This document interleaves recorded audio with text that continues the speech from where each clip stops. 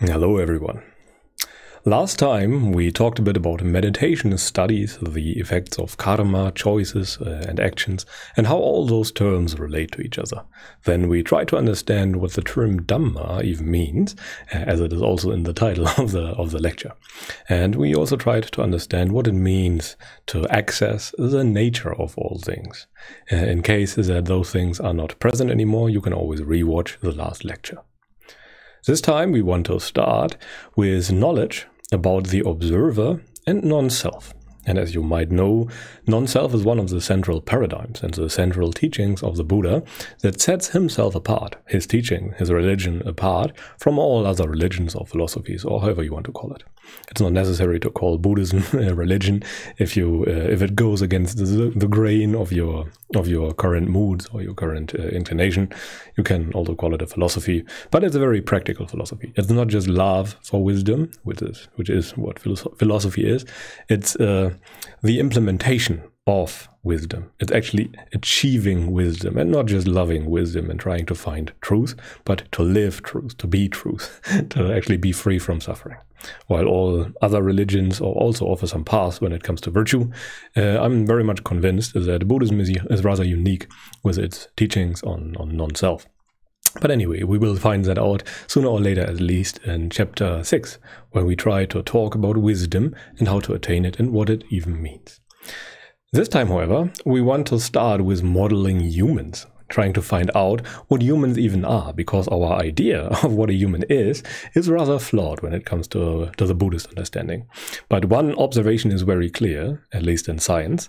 We don't really know how to model humans properly. They are incredibly complex systems. The human mind is probably the most complex thing in existence, uh, at least the most complex thing that we know, and it's a rather impossible task.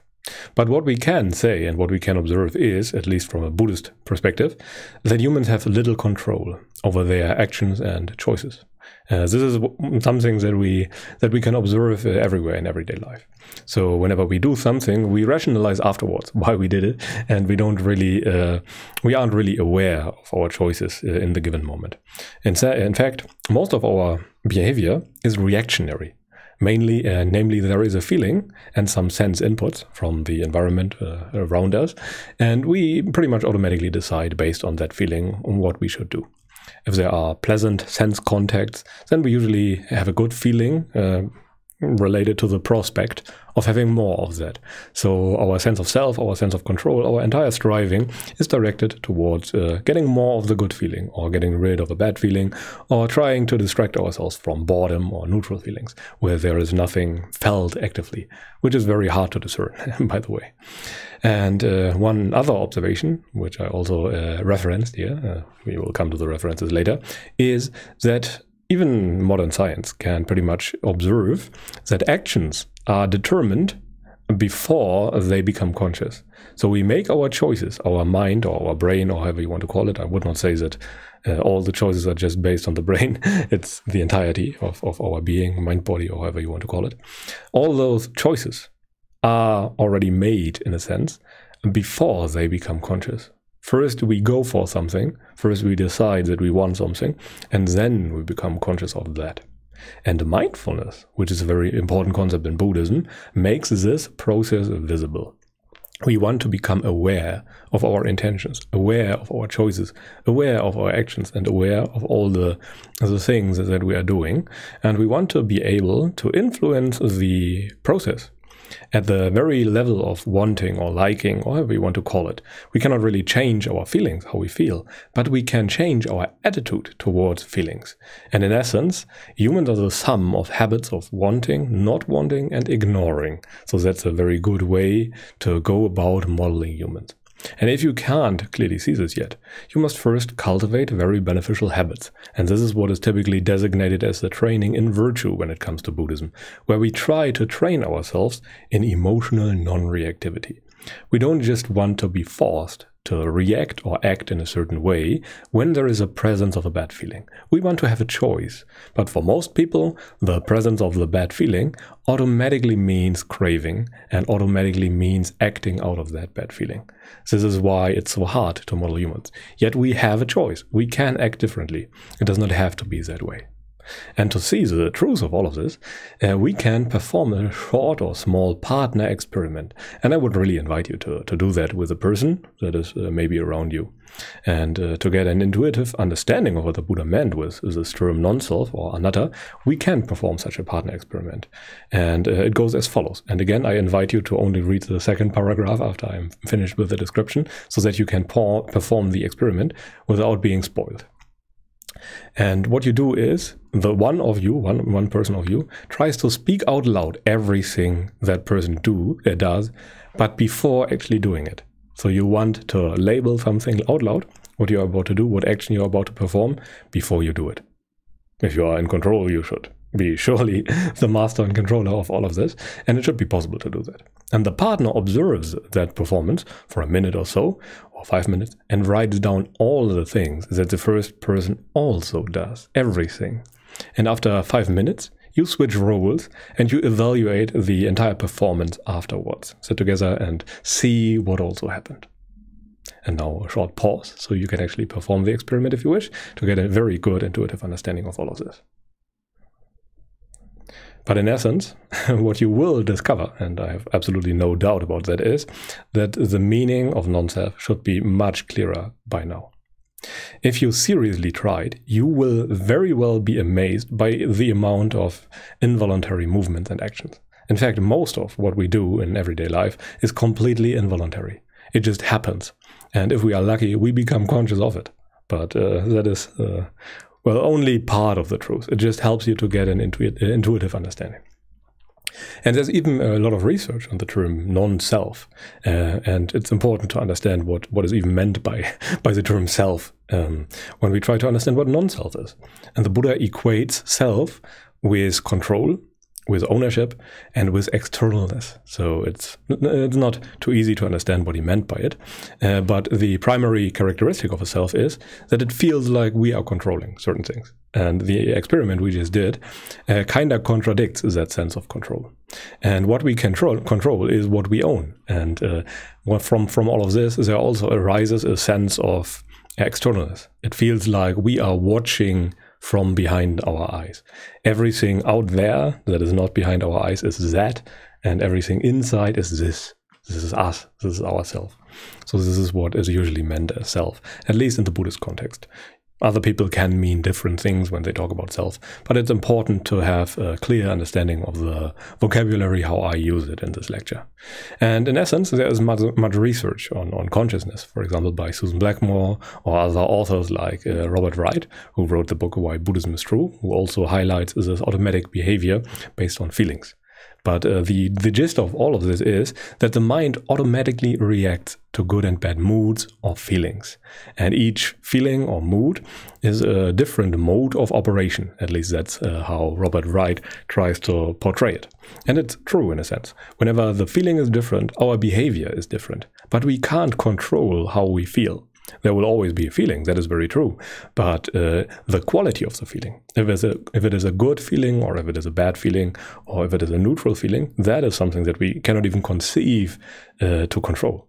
We always try to make the feeling different. Our entire striving is directed towards that. So, if we could really control that feeling directly, we would surely do that and exclusively experience good feelings. That is uh, an example that the Buddha often gave to those who questioned or debated him. And it is true. Most of our striving is directed towards finding sexual partners, uh, watching Netflix series, eating tasty food, uh, experiencing nice things that we can remember so that we can relish those memories. But what all of those things have in common is that we try to change the situation so that we experience something nice. This is the gist of all of it. And all of human striving is directed towards it. The majority of it is directed towards finding a sexual partner. that is uh, also true. But there are also other kinds of, of good feelings that many also other people also try to, to seek. Because not everyone is either capable or willing to, to seek out a sexual partner. And uh, evolutionary, that was kind of useful. It was a very fast heuristic that we could base our decisions on because of the speed of the decision, it was often necessary to survive. because, uh, well, fast decision making is crucial. When uh, a, a, large cat or, or, wolf attacks us, we don't have the time to think and evaluate and ponder the situation. We must decide fast that it's time to run or time to fight or anything like that. So feelings are very effective at what they try to do, namely at making us survive. But they do malfunction nowadays quite a lot because we are not living in the same environment anymore. In fact, the environment changed so fast compared to the past that a lot of our programming is not suitable anymore. It's not beneficial in many situations, and thus we suffer greatly from our feelings. And brain scans, uh, as, a, as an example, can reveal our actions and intentions in advance. So uh, a certain area of the brain is active when it comes to deciding, for example, way before we become conscious of our decisions. So we can, uh, if we go by brain scans, uh, see seconds in advance before we become conscious of our choice that we will go for, I don't know, uh, go go get some some pizza or some food or anything like that. And this is rather unsettling for many people because it uh, seems to undermine our our sense of free will or our sense of choice, which is not really the case. It's just uh, that the sense of choice is it's rather different from how we think about it. That's uh, by the way a concept or an idea that we will encounter frequently during this lecture. It's not so much that uh, something is entirely uh, that, that something vanishes or that something has to go or that something is completely wrong. It's more that we have a wrong understanding of things. We don't fully know what humans are. We don't fully know what feelings are. We don't know, fully know what self is. And we don't really, really understand that correctly. So what we think of as humans, what we think of as self, what we think of as feelings, that changes. It's not so much that, that reality changes. Reality was always the same and will always be the same. Uh, but our interpretation of it, that can change. Our understanding of it, that can change very much. And humans, uh, in essence, assume a sense of self and a sense of control because we are always there. We are always in the center of the stage. So uh, that's something that is very important to keep in mind. And in an endless chain, for example, of events that are happening, you can think of it as uh, images that are supplied to us, it is very uh, difficult to tell event uh, uh, to, to, to tell apart what is observation and what is uh, the sense of self, what is controlling and what is observing. So when there's always a uh, an alternate, uh, alternating, alternating sequence of event and sense of control, event and sense of control, and so on, we can't really say what is first. Is the event first and the control comes after, or is the controlling instance first and uh, the event comes comes after? And as we will see, uh, the sense of self is second and not first. Uh, at least that is one of the key observations that I want to uh, teach in this lecture. But I also want to explain this entire thing of self and how it comes to be even more with a few uh, recent developments in uh, computer science, as an example, or robotics, or however you want to call it. And robots with sensors aren't too different from humans. They observe their environment through their sensors, like cameras or uh, other types of sensors. Every smartphone has, uh, for example, a uh, tilt sensor or something that is based on the uh, magnetic uh, field of the earth or something like that. There are many kinds of sensors. There are microphones, which are essentially also sensors, and every anything like that. And uh, we can see that robots create some kind of self assumption when they are equipped with an artificial neural network or an ANN, uh, as it's called in computer science.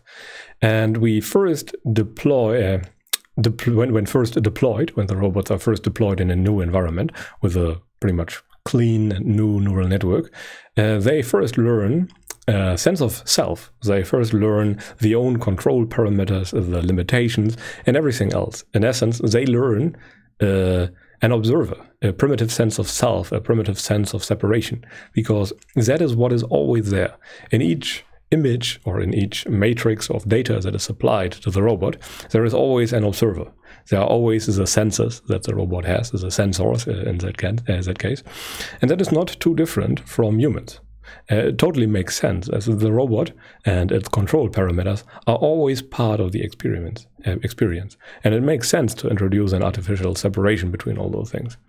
And while those uh, artificial neural networks are not really like humans or human neurons, it is still a useful analogy that we can use to understand the entire process in more detail. Because, uh, again, while the underlying structure is a different one, that does not mean that the entire process functions too differently, because uh, artificial neural networks do learn, and they do learn in a very similar way, even though the underlying structure that holds the learned state is different. So as we can see, even robots learn a primitive sense of self, even though there might not be consciousness or anything like that involved. And we can move now from robots to humans, because parts of the human brain do very much behave like uh, artificial neural networks, or the other way around. artificial neural networks are, of course, uh, modeled after the functioning of, of uh, real brains and real neurons as they occur in nature, even though the uh, neurons function in a very different way. And the human mind uh, always tries to find truth. Uh, tries to accurately model uh, and predict the behaviors of things around us, as that is an evolutionary advantage. Uh, those creatures who could best predict, for example, if they are predators, where their uh, where the prey would move next, had the best chances of survival because they were always well fed. So our brain is pretty much always trying to predict the future. It always tries to find the truth of things. It always tries to, well, well, model the future, and that requires an accurate uh, model of how everything works. So it always tries to find the truth. This is uh, pretty much pretty much always true. and uh, when we get new sense inputs, the brain tries to abstract and infer and well, predict is self by similarity, for example. We always receive new things and we always try to generalize and abstract because generalized data is smaller than the totality of all available data. We cannot store everything all the time. That's we don't have enough uh, memory for that. So we have to pretty much abstract and, and generalize.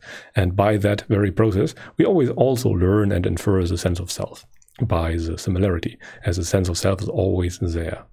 And humans only have self, interestingly, the, the sense of being of a unit as, a, as an individual from a certain age onwards, except for the underlying tendency. The underlying tendency of I making and mind making is already there in a, in a toddler, for example. So that toddler will always create a sense of identity that is programmed into the into the mind, into the brain, into the biological programming of the of the individual. And uh, can you remember, as an example, when you first felt like you? It's very hard to pinpoint usually. And the self could be called a mental model for control and, and separation, this and that, that which must be protected, as an example. And we feel like the pilot of this meat robot, and our point of view is pretty much always behind the eyes. And we strongly associate with the center of our vision. That is usually how humans work. It can be different. Uh, some uh, Asian cultures, for example, feel like they are situated in the heart, in the spiritual heart region, in the center of the chest. But that's not very common. Our logical thinking happens in the mind, and that is usually situated behind the eyes. But we can add remove or modify those mental models like any other mental model too that stands for the self. Our assumptions and hypotheses can be different. Once we confront our mind or our brain with conflicting data on the topic, then it always changes its underlying assumptions or hypotheses.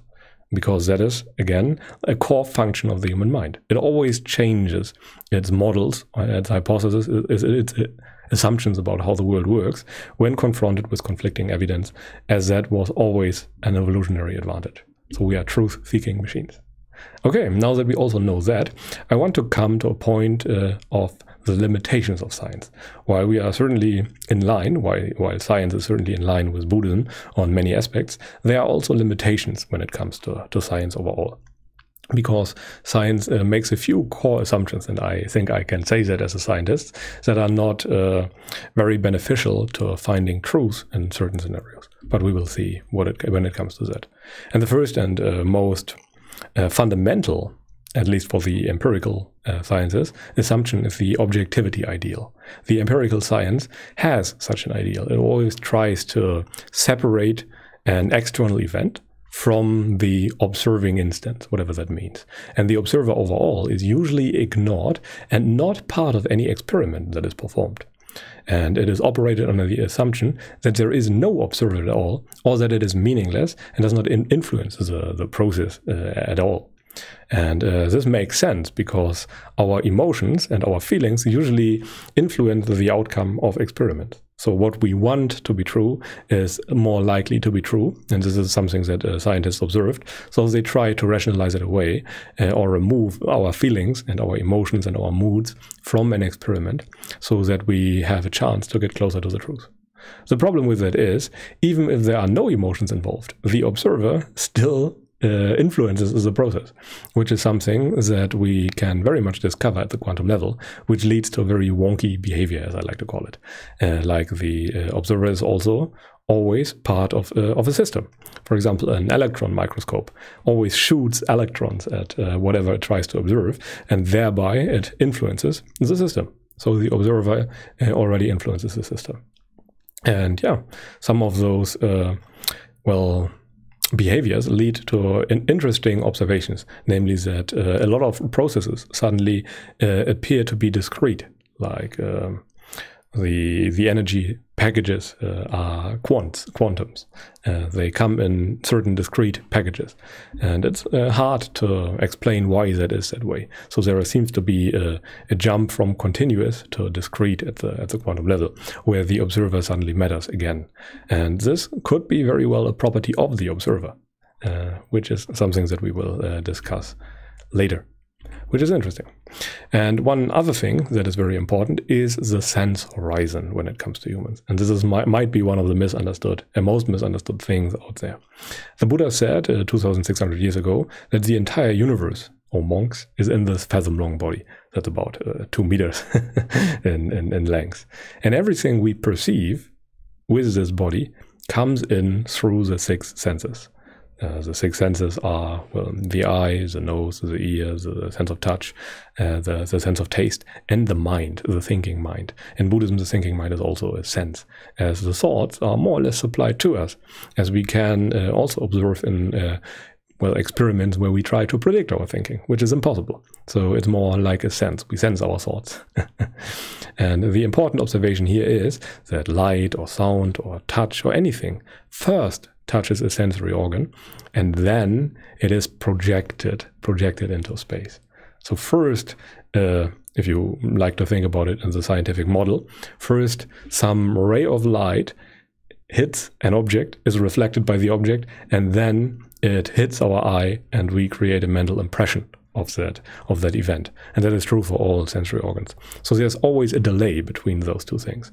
And uh, it's interesting when we uh, apply that that entire way of thinking to our own body, which would mean that our body moves first, as an example, when we observe it through the eyes, and then the uh, sense of control is uh, is assumed afterwards. And uh, what lies beyond the senses, as an example, is forever unknown it's unknowable by us, by the very nature of our senses. There is nothing uh, that could take us beyond this sense horizon, which is also very important. That would be like trying to find out what lies inside of a black hole or what lies outside of the universe. Our universe is very much dictated by our own senses. Uh, it is just that our sense of self creates this uh, external world for us. It assumes this external world, and in the process, it creates it. And everything overall, when, at least when it comes to Buddhism, is part of the arisen experience as a whole that is supplied to us by our sensory organs. Even external machinery uh, is perceived through the eye, external test machinery that tries to uh, find out the truth about the universe, like the CERN uh, particle collider or anything like that we perceive all the results that that machine makes through our eyes, through our sensory organs, which is very important to keep in mind. Because in essence, uh, it means that there's also always a component of observer or just observer when it comes to comes to that.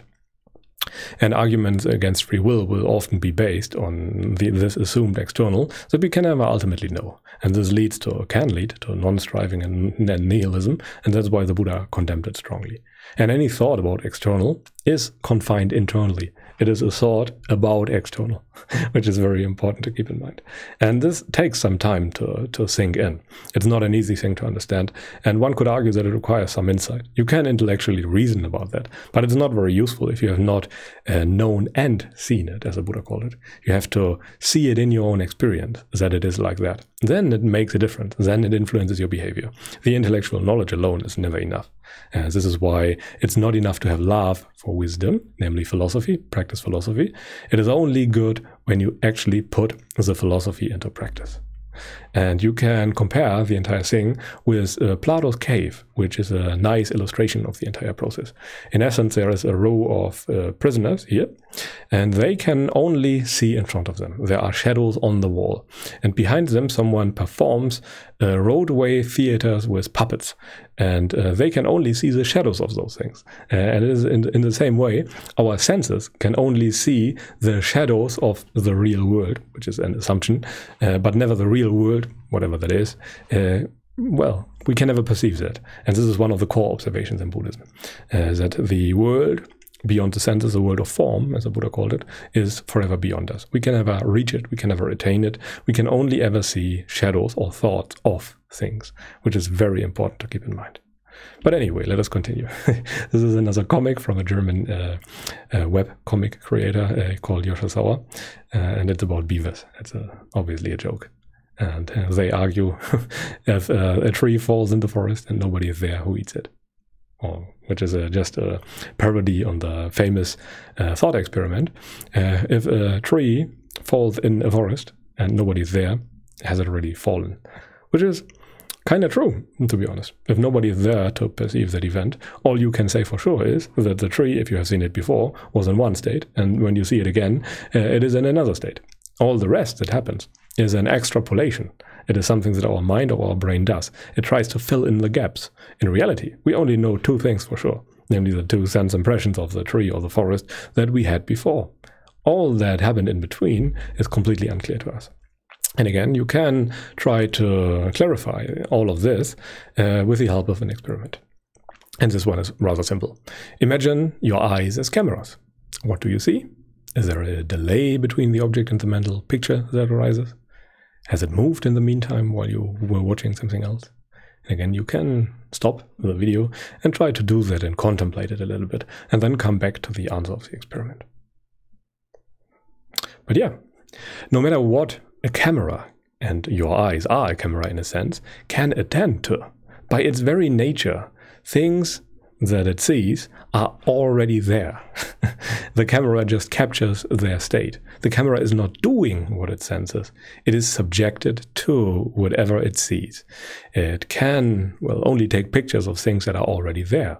And if you apply the same theme of perceiving or cognizing to your very own body through the uh, senses, through the eye or through any other sensory organ, the wrong order, namely the assumption of control, can get uprooted.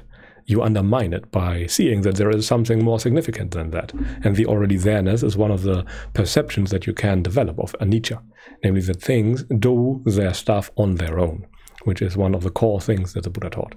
And unlike, uh, well, most people think, uh, ignorance, namely not perceiving parts of an image, is a process that requires mental capacity, as a sensory organ cannot just ignore certain things. A camera cannot ignore parts of a picture. You can remove them in post processing steps, uh, but you cannot really uh, leave out something. And just like a camera cannot ignore parts of a photo it takes, it cannot, the eye cannot leave out images. If we do not perceive something, it is because we ignore it in a post processing step of the mind. This is our tendency of ignorance. And this is something that is uh, at the core of pretty much all problems. We ignore the fact that things happen on their own. And as a result, we can maintain our assumption of control. And this is something that we try to uproot in Buddhism via meditation, via sense restraint, via all the other techniques that the Buddha pretty much uh, pretty much uh, suggested to uproot all the wrong assumptions. And all of this is true for objective experiments too. We always assume an external and act like we are inside of this body, behind the eyes, and everything else is outside. It's always this and that. Always the internal and always the external. And there's always a sense of separation. And even, as mentioned before, particle accelerators are technically inside of experience because whatever we have available is a sort of a particle accelerator. It is perceived through the eyes, whatever that means. And the eyes perceive whatever they wish. The eyes have a mind on their own, pretty much. Whenever the eye wants to look at a certain picture or at a certain part of a picture, it just does, unless one of the other sensory organs is stronger and experiences a, exerts a stronger pull on us, then we look somewhere else. and there is no ground for anything external to experience. It is forever a sense horizon, and most of science conveniently ignores this very fact. In philosophy, it is very well known. I think it's called, uh, it's uh, researched or um, talked about in phenomenology, where people talk about the, the uh, properties of the observer. But as we know from a wrong assumption, uh, everything can follow. This is one of the core observations of uh, propositional logic, which is very important. And uh, yeah, what we should keep in mind is that uh, when whenever there are wrong assumptions, pretty much everything can can follow from from them, and this is a very important key observation. So we should very well be aware and be very aware very of of any type of wrong understanding that we have. Even the smallest bit of wrong understanding can totally ruin any uh, kind of uh, yeah of, of inference anything that is based on a wrong assumption is also wrong, very likely. But luckily, math and other uh, mind based sciences uh, work model based and without that assumption. So we can very much use those tools here in this lecture as an example. And uh, as we will later see, the Buddha used many of those tools. but to illustrate the entire uh, mm, process or the entire uh, fact that we are enclosed with our senses, within our senses, the Buddha gave us a simile. And I will present to you some of those throughout the, the lecture. And I will just read it to you and explain in the meantime. And, uh, and at one time, uh, someone asked the Buddha, Is it possible, Bhante, which just means venerable sir or something like that, by traveling to know, see, or reach the end of the world, where one is not born, does not grow old, does not die, does not pass away, and get reborn? Say, friend, that by traveling, one cannot know, see, or reach the end of the world. In the past, Bhante, I was a seer named Ro, Rohitassa, son of uh, Bhoja, one possessing psychic potency, able to travel through the sky. And the wish arose in me I will reach the end of the world by travel. And having a lifespan of 100 years, living for 100 years, I traveled for 100 years without pass- uh, pausing, except to eat, drink, chew, and taste, to defecate and to urinate, and to, uh, to, to dispel fatigue with sleep. Yet he did not uh, reach that goal. He died along the way. It is in this fathom long body endowed with perception and mind that I proclaim the world, the origin of the world, the cessation of the world, and the way leading to the cessation of the world. Essentially, and by the way, you can look up all the all the suttas uh, that I present here by simply scanning the QR code or by searching the uh, respective number here uh, in the uh, Sutta Central uh, website as an example, or when you have PDFs of, of the books of the Nikayas, then you can also look it up in there. The translations vary a bit, but overall it's uh, very similar most of the time. But what the Buddha points here at is that we cannot reach the end of the universe ever. Even if we create some kind of super fast spaceship, uh, what we see is never the, the external universe. It is always what our senses supply to us. We have no idea what lies behind our senses, and we can never know that. And this is a fact that the Buddha is pointing here to, which is a very important fact, because once we know that, we stop trying, kinda. Once we accept that fact and really let it sink in, then it makes a difference in our in our experience, and that is a very important thing. Because otherwise, uh, views or wrong views about such things can be a very subtle hindrance when it comes to spiritual progress, and we will see that later too, where the Buddha lies, uh, lays out all the different kinds of hindrances uh, in existence. And yeah, that brings us to the very important observation and distinction between subject and object properties. And everything an experiment yields is only true if the assumption holds true, namely the assumption of isolation, the assumption of externalness, and all those other things. And observed properties, most of the time, could be both characteristics of an external system or an external environment or characteristics of our senses. We can never say uh, if something is either something that our uh, that is dictated by the limits of our senses or if there is something external going on. As an example, if our eyes just snap 30 pictures uh, every every second or something like that, then uh, it kind of limits what we can perceive. So it might create a, the mind might create a, a moving sequence of pictures out of uh, out of those pictures. But in the end, there is still very much a limit going on because we only have so much power of the senses in a sense. And this, the same holds true for every sensory organ that we have. And in essence, it could always be both. That limitation could be due to the external systems that we observe, or that limitation could be due to, well, limitations of the senses. And especially at the quantum level, effects make more sense as a, a, property of the observer. And one example would be the collapse of wave, wave function as soon as something is knowable, or spooky action in the distance, as, as an example. Uh, because we always know uh, both objects as an example. So it, it, seems to be more a property of our mind uh, and the, the perceptual organs than a property of the external that we just assume.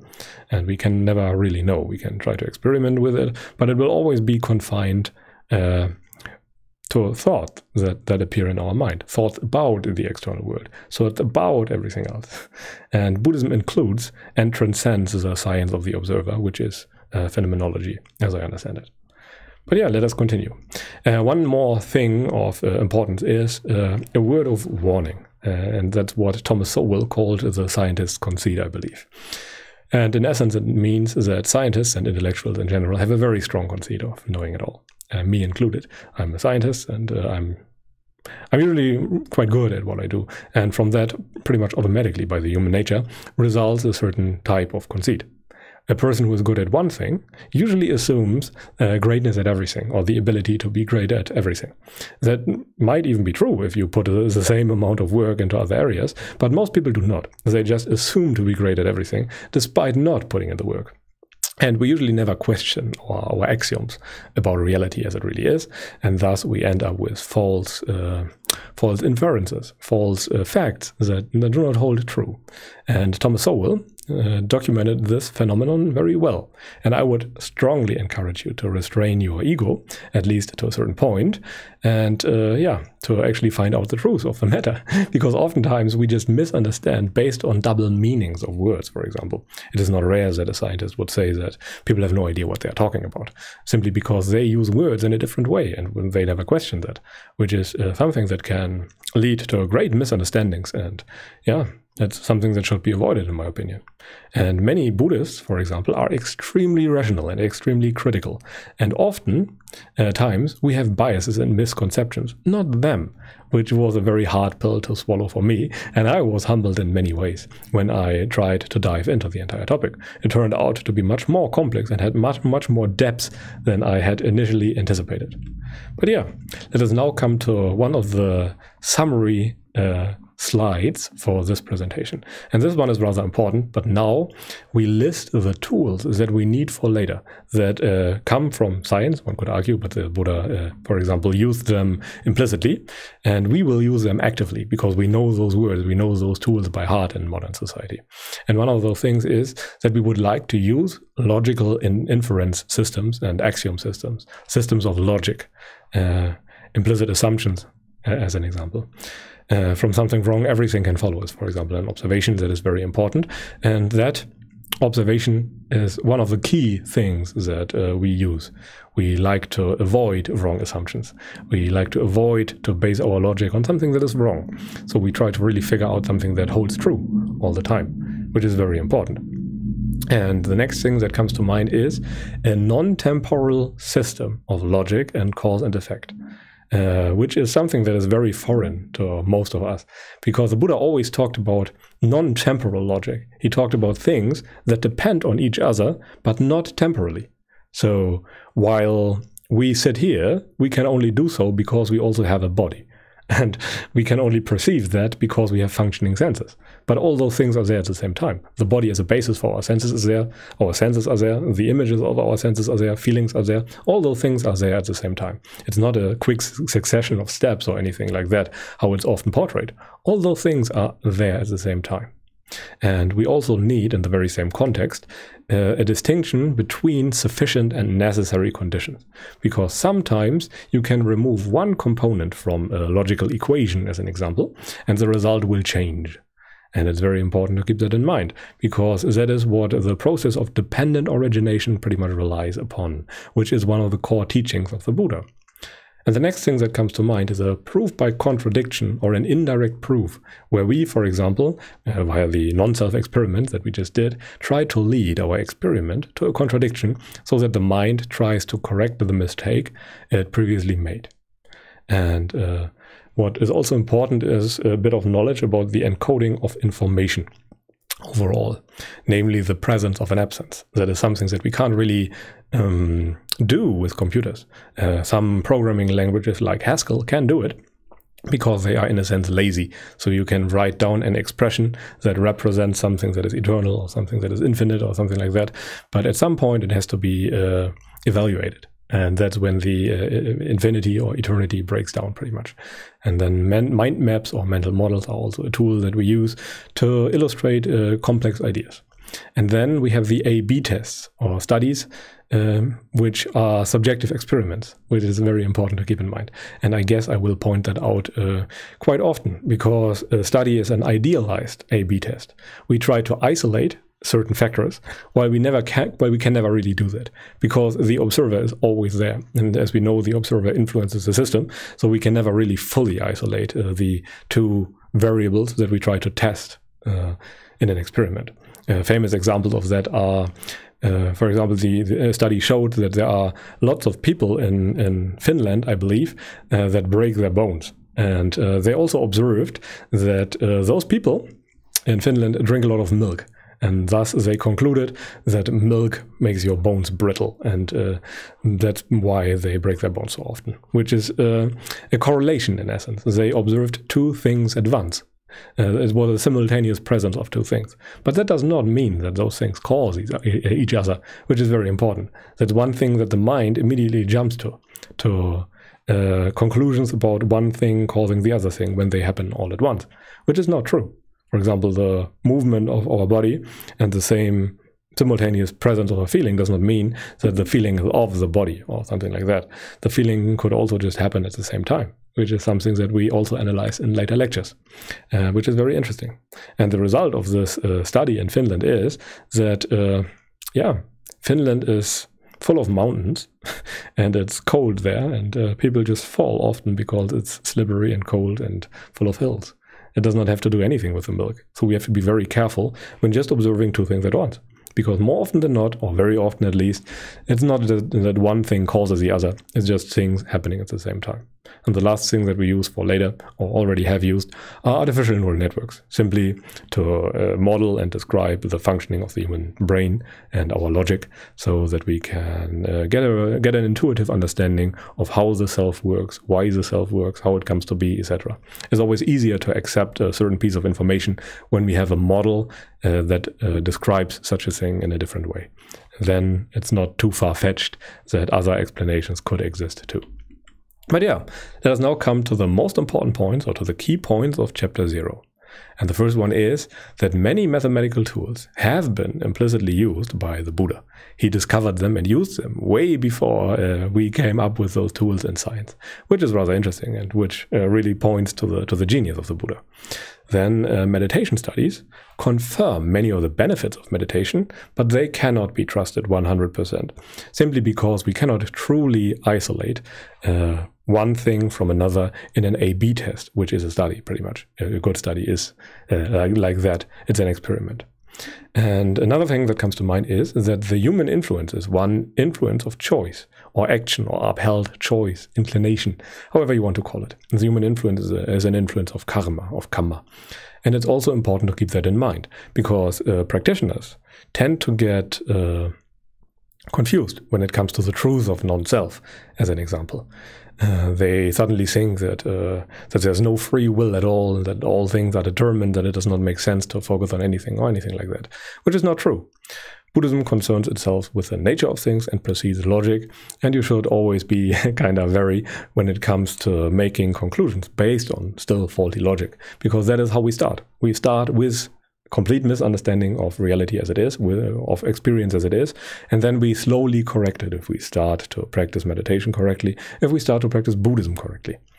And the truth of non self, for example, can be tested in a limited sense in scientific experiments. Of course, you still have to make the experiment uh, experience, and the scientific experiment is not enough, but still, it can help you get started because suddenly there might be something out there that is worthwhile investigating if science points to, well, more research is needed. And people have a very intuitive trust in science, and not very much so anymore uh, in, in Buddhism or other religions, which is a rather new thing.